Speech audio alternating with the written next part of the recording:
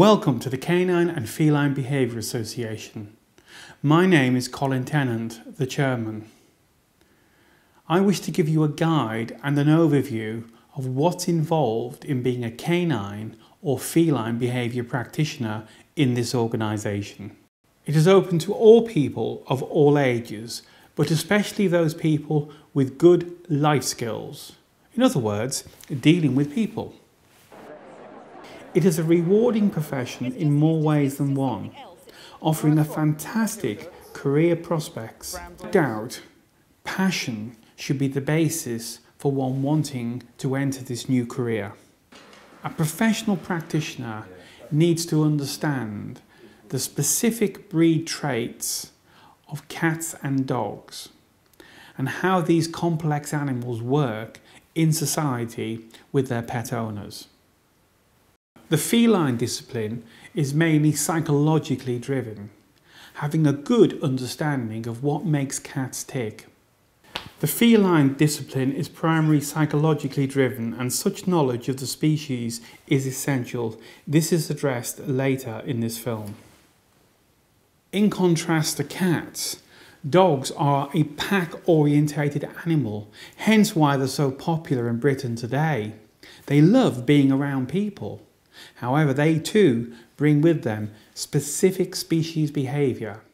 And as such, this in itself can bring problem behaviours when we don't fully understand what makes dogs tick. However, for most dog owners, they are a joy. We all, or we should all, enjoy dogs. Dogs also need a formal education and quite a strict education of training. They understand through obedience what they can and what they can't do. Dogs come under the law, the criminal law, especially the new Dangerous Dogs Act. Therefore, dogs and you as owners are responsible in public places. A dog cannot be allowed just to do as it wants, run across roads, perhaps cause accidents. You need to control a dog. Therefore, obedience training is critical to the dog's early development. Understanding this as a practitioner is important. Although as practitioners we want to teach people to understand the dog's mind, the pack instinct and how dogs interact with us, equally as important is the dog training.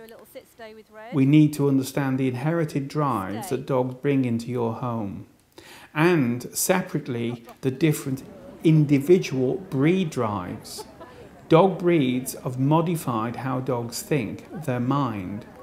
So a breed like a husky is very different to that of a basset hound. They are the same species, but they act in very different ways due to how they've been bred over hundreds of years. The practitioner needs to have a level of accredited academic study combined with vocational experience to be proficient and obtain a great knowledge of breed specific behaviours. However, many applicants bring to the CFBA quantitative experience, which we call vocational training. This too is valued and considered by a new applicant for the CFBA, whether that be feline behaviour or canine. Many applicants feel that understanding dog behaviour is all that they need to become a good practitioner. That's simply not enough. You have to be competent at training dogs and managing them. Let me give you an example. Aggression is the most common problem presented to canine behaviourists. So if you have a dog that's dog on dog aggression in public places or dog on person aggression, Eventually, when the modification programs are implemented, you will have to take the client in such places. The client will look to you for direction. They want you to lead by example, the ability to intercede quickly when things are starting to go wrong. This is the real world of dog behaviour. You are in charge. And when you lead by example, and the client sees you take their dog and control it with strict obedience and bring that dog into order, and the dog still has a happy temperament and is learning fast, then the client's confidence improves. They see that you can do it. That is not the same as you telling them what to do in a written report. That's the real world linked to dog behaviour and psychology. Experience in learning the handling skills of dogs is vital. Therefore, vocational knowledge is most important. Only when one has handled and managed the most aggressive dogs with serious behaviour problems and in quantity can you gain knowledge which is the foundation of this profession. If you cannot train or handle a dog that displays aggression to dogs and or people, how can you hope to lead by example? In essence, the most successful practitioners are the ones that do lead by example. The public, your clients, are always impressed when they see you get results. There is a risk in this profession. We have strict laws on dog behaviour, which makes our job more difficult when we're trying to rehabilitate dogs. We have to expose these dogs eventually, whatever training and behaviour program they've been on, to the real world if we want these dogs to live in that environment. So there is risk. The way practitioners work varies a great deal depending on where their practice is located, the part of the country. Practitioners who work in cities will probably have slightly different systems and protocol to those who live in the country. Pet owners will often contact their veterinarian for a referral to see a CFBA full member. And this is mandatory for pet insurance cases. Many owners contact you through recommendation, and that is a good sign of your success and professionalism. Once you've received a referral from a veterinary surgeon, the client will normally come to your centre if you have one. However, some practitioners work from home and only do home visits. The client explains the problem that they're presenting to you in detail.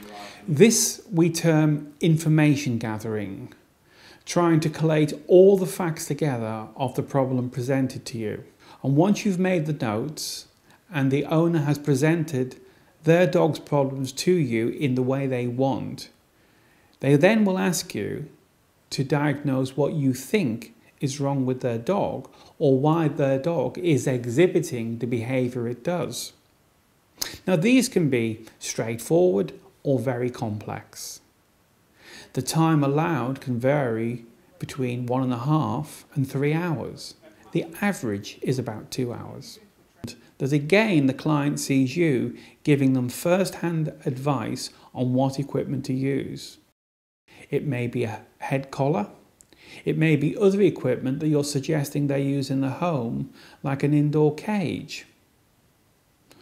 Whatever equipment you want them to use, it is for you to set this down subsequently in a report.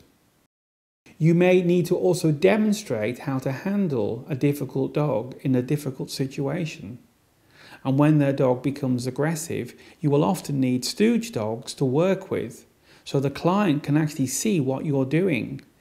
It is virtually impossible for a client to understand what you're conveying from writing alone. In the thousands of consultations I've conducted, in each case where I show calming a dog down, the dog is aggressive, it's on its back legs, it's barking, it's aggressive. This is the norm for this dog with the client. If they can see me reduce this in 10 or 20 minutes, by calmly showing them techniques, what to notice, when to intervene, when not to intervene, what equipment to use. That gives the clients great confidence that they too can achieve what the expert's achieving. This is how we learn. It's very important. Once the consultation is concluded, it's for you to explain to the client whether they will need to see you again, how that works, that they will receive a full written report explaining all that you've heard from them and your opinion of how they can solve their dog's problems. Once you set down the programs you want the client to follow in your report and from the demonstrations they've seen, you do need to keep in contact with the client Now this can be by email or by phone.